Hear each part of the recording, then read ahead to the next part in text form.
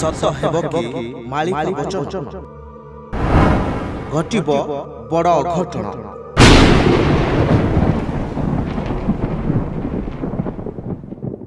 ହିନ୍ଦୁ ଧର୍ମ ଏବଂ ପରମ୍ପରାରେ ଅନେକ ପୁରାଣ ଶାସ୍ତ୍ର ରହିଛି ଯାହାକୁ ଆଧାର କରି ଆମେ ଏ ସଂସାର ଏବଂ ଏ ସୃଷ୍ଟି ବିଷୟରେ ଅନେକ କଥା ଜାଣିଥାନ୍ତି। ତେବେ ଏହି ପୁରାଣ ଶାସ୍ତ୍ର ମଧ୍ୟରେ ଗୋଟିଏ ହେଉଛି ମାଳିକା ଯେଉଁଥିରେ ସମଗ୍ର ପୃଥିବୀରେ ଆଗକୁ ହେବାକୁ ଥିବା ଅନେକ ଘଟଣା ଦୁର୍ଘଟଣା ବିଷୟରେ ଭବିଷ୍ୟବାଣୀ ଉଲ୍ଲେଖ ଅଛି। ଯାହାର ଭବିଷ୍ୟବାଣୀ ଶ୍ରୀ ଅଚ୍ୟୁତାନନ୍ଦ କରିଛନ୍ତି।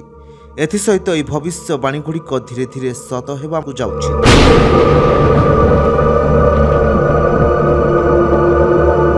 ତେବେ ଏହି ମାଳିକାରେ ରାଜ୍ୟର ପୁରାତନ ସହର କଟକକୁ ନେଇ ଏବେ ଏକ ଭବିଷ୍ୟବାଣୀ ହୋଇଛି। ଯାହାକୁ ଜାଣିଲେ ଆପଣମାନେ ମଧ୍ୟ ଆଶ୍ଚର୍ଯ୍ୟ ହୋଇଯିବେ। ତେବେ ମାଳିକାରେ କଟକକୁ ନେଇ କ'ଣ ଭବିଷ୍ୟବାଣୀ ହୋଇଛି? ଆସନ୍ତୁ ଜାଣିବା।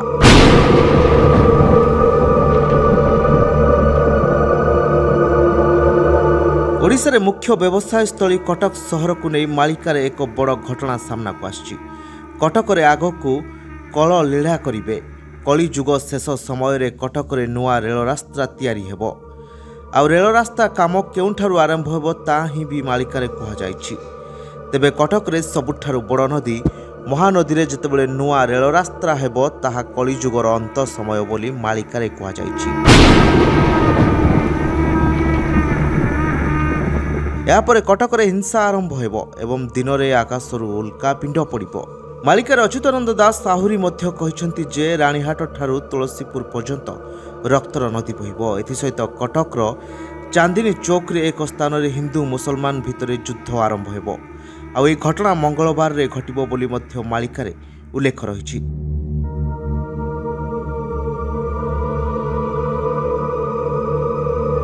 ସେହି ସମୟରେ ହନୁମାନ ଗର୍ଜନ କରି ଉଠିବା ସହ କଟକରେ ମହାସମର ଲାଗିବ। ଏତଦବ୍ୟତୀତ ମହାପୁରୁଷ କହିଲେ ପଶ୍ଚିମ ଦିଗରୁ ସୈନ୍ୟ ଆସି କଟକରେ ପ୍ରବେଶ କରିବେ। ଆଉ ସେହି ଦିନ କିଛି ଛଦ୍ମବେଶୀ ମୁସଲମାନ ସୈନ୍ୟ କଟକରେ ପ୍ରବେଶ କରିବେ। ପ୍ରଥମେ ସେମାନେ ହଣାକଟା ଆରମ୍ଭ କରିବେ ଆଉ ସେହି ସମୟରେ ହନୁମାନ ଗର୍ଜନ କରି ଉଠିବେ। ତେବେ ମାଳିକା ଶାସ୍ତ୍ର ଅନୁଯାୟୀ କଟକର ବଳଦା ଶାସନରେ ପ୍ରଭୁ ହନୁମାନ ଜନ୍ମ ନେଇସାରିଛନ୍ତି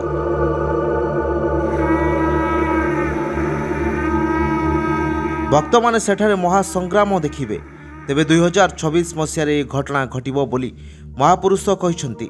କେବଳ କଟକ ନୁହେଁ ଏ ଯୁଦ୍ଧ ଭୁବନେଶ୍ୱର ପର୍ଯ୍ୟନ୍ତ ମଧ୍ୟ ବ୍ୟାପିବ। ଏ ଯୁଦ୍ଧ ତିନି ପକ୍ଷ ଏବଂ ତିନି ମାସ ଚାଲିବ। ଯାହାର ଅର୍ଥ ହେଉଛି ତିନି ପକ୍ଷ କହିଲେ ପଇଁଚାଳିଶ ଦିନ ଏବଂ ତିନି ମାସର ଅର୍ଥ ନବେ ଦିନ। ତେବେ ଏହି ଯୁଦ୍ଧ ସର୍ବମୋଟରେ ଶହେ ପଇଁତିରିଶ ଦିନ ଚାଲିବ ବୋଲି କୁହାଯାଉଛି। ଯୁଦ୍ଧ ଏତେ ଭୟଙ୍କର ହେବ ଯେ ଖୋର୍ଦ୍ଧା ପର୍ଯ୍ୟନ୍ତ ରକ୍ତର ନଦୀ ବ୍ୟାପିବ। ଲକ୍ଷ ଲକ୍ଷ ଲୋକ ମୃତ୍ୟୁବରଣ କରିବେ। ତେବେ ମୀନ ରାଶିର ଶନିଚଳନ ଯୋଗୁଁ ଏଭଳି ସମସ୍ୟା ଉପୁଜିବ। ଏ ଘଟଣା ଅଢ଼େଇ ବର୍ଷ ଲାଗି ରହିବ। ସେହି ସମୟରେ ପୃଥିବୀ ମାତ୍ରା ତ୍ରାହି ତ୍ରାହି ଡାକିବା ସହ ରାସ୍ତା ସାରା କୁଢ଼ କୁଢ଼ ଶବ ଗଦା ହେବ ତେବେ ଦୁଇହଜାର ଚବିଶ ମସିହାରେ ମୀନ ରାଶିରେ ଶନି ଚଳିବେ ଆଉ ଏହି ଘଟଣା ଦୁଇହଜାର ଛବିଶ ମସିହାରେ ଘଟିବ ତେବେ ଏହି କଥା ମାଳିକାରେ ଉଲ୍ଲେଖ ଥିବା ବିଶ୍ୱାସ କରାଯାଉଛି ଯାହାକି କେତେ ଦୂର ସତ କିମ୍ବା କେତେ ଦୂର ମିଛ ତାହା ଜଣାପଡ଼ିନାହିଁ ଏକଥା କେତେ ସତ ଆପଣ ଆମକୁ ଆମ କମେଣ୍ଟ ମାଧ୍ୟମରେ ଜଣାନ୍ତୁ